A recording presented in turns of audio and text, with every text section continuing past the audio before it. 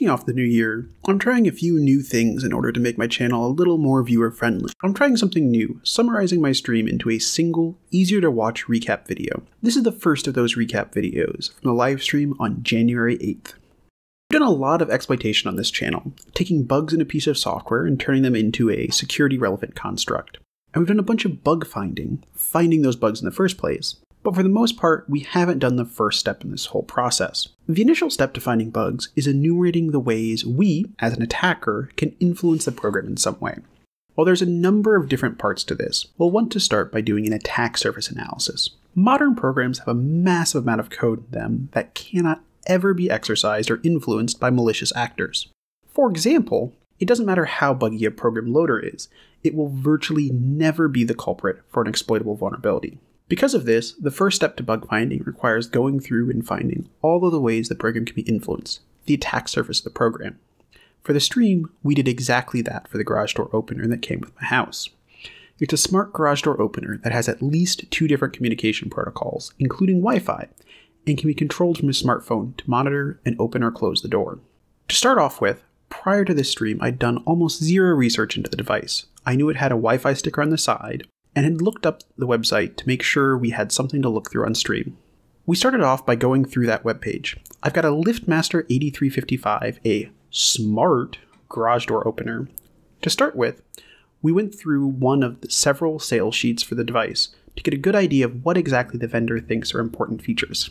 You'll see here the start of my notes. The primary goal of this stream was to create a set of notes documenting what I should be looking at once we start actually trying to find bugs in the device. At this point, we're just listing out all the features in the device, but you'll see this grow as we keep going. After going through a couple different sales sheets, we dove into the installation manual for the device. The assumption was that the installation manual will tell us about as many of the configurable options as possible, and as it turns out, that assumption was correct. The biggest part of our notes came from looking at how the installation works, since that included configuring a lot of the features. Surprisingly, the user's manual didn't add much more in the way of details. We had a few more details about how the features were intended to be used, but very little about what features are actually on the device. One interesting source of potential bugs was going through the reviews for the device.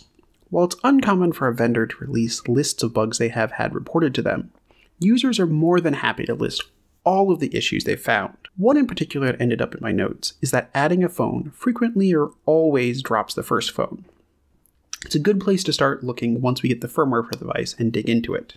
And then after the reviews, we did a quick glance at some third party reviews, but we didn't really turn up much in the way that was useful.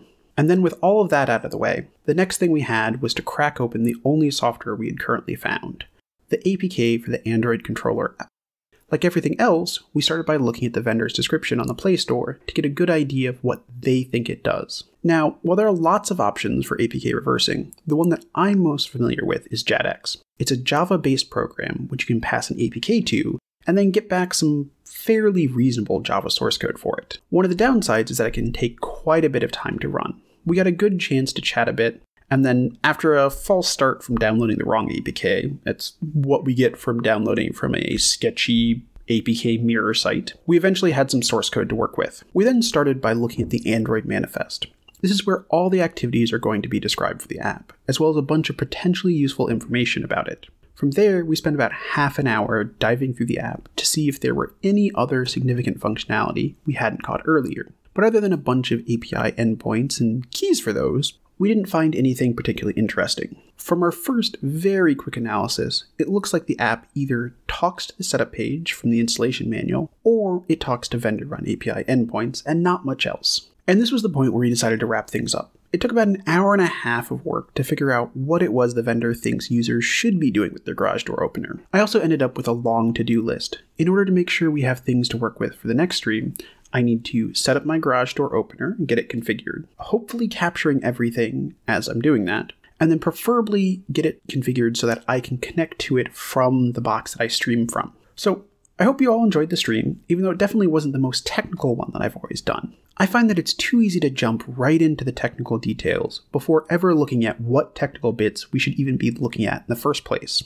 On more than one occasion, I've personally dove into reversing an application, only to realize after sinking many hours into it that I was looking at the wrong thing altogether. This attack surface analysis, while largely non technical, helps us prevent all of that. We now have notes about what to look at in the future, as well as a good path forward on where we should be looking. This gives us a great foundation to start from, rather than just looking at everything as it crops up.